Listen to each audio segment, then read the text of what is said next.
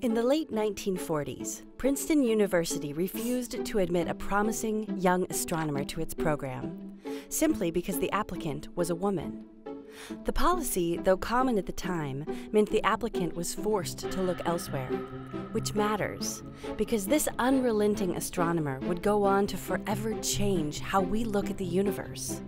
Her name was Vera Rubin.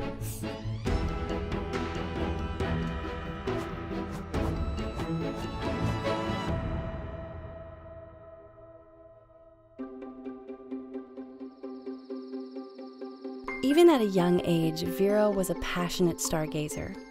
At 14, she set out to join a local astronomy club, but didn't have a telescope. So she convinced her dad to help her build one from scratch. It seemed inevitable this scrappy girl from Philadelphia would go on to be an astronomer. But this was a time when women weren't seen as scientists. I figured that being my wife would take up all of your time. A stigma Vera would fight her entire life. Take when her high school physics teacher told her, as long as you stay away from science, you should do okay.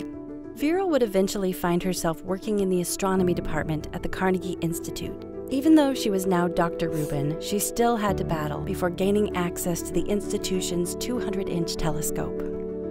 The building, having only housed men before, didn't even have a women's restroom. Never shy, Vera cut out a paper skirt and stuck it to the bathroom door, where everyone could see this is where she belonged.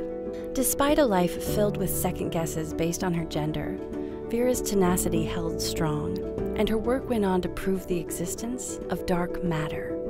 But predictably, the male dominated scientific world dismissed her findings. However, subsequent decades of research later, much of it conducted by Rubin herself, would go on to not only prove dark matter exists, but that every galaxy in the universe, including our own, is mostly made of it. Simply put, Vera Rubin changed the way we look at the universe.